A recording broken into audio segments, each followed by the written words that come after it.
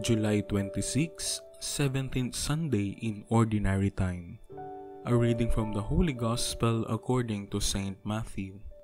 Jesus said to his disciples, The kingdom of heaven is like a treasure buried in a field, which a person finds and hides again, and out of joy goes and sells all that he has and buys that field. Again, the kingdom of heaven is like a merchant searching for fine pearls when he finds a pearl of great price, he goes and sells what he has and buys it. Again, the kingdom of heaven is like a net thrown into the sea, which collects a fish of every kind.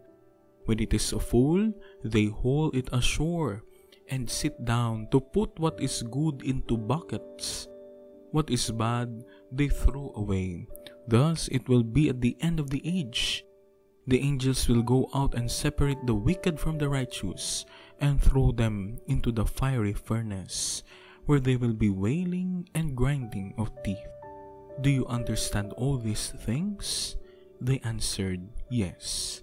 And he replied, Then every scribe who has been instructed in the kingdom of heaven is like the head of the household, who brings from his storeroom both the new and the old.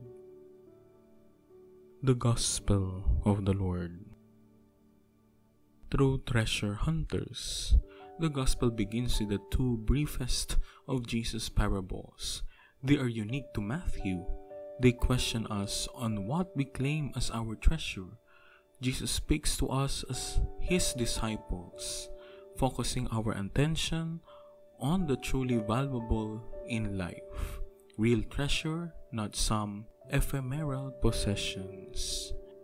We could easily be distracted with the words hidden treasure and begin thinking about the fabled Yamashita gold treasure.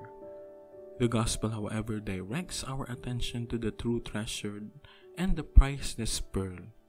It is none other than the kingdom of heaven. To possess God, to share His friendship, to love Him, and to seek to do His will.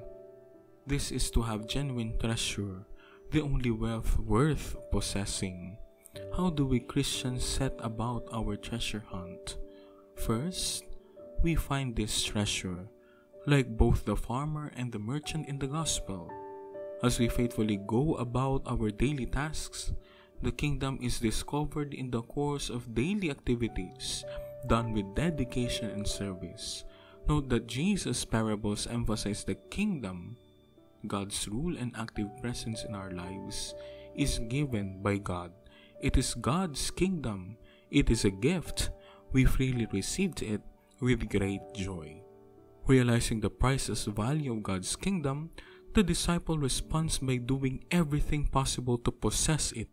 Both farmer and merchant, symbols of Jesus' disciples, sell everything they own just to possess the kingdom. Yes, we are asked to give our whole selves, and in return, we will receive the whole of God. We can recall the attitude of the Apostle Paul, who counted as garbage everything except the supreme good of knowing Christ Jesus, my Lord. Nothing we will ever give up will be nearly as valuable as what we receive.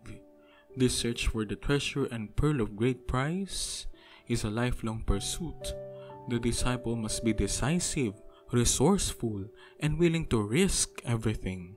It is a joy to seek God with our every energy, every decision, every hope, and every desire.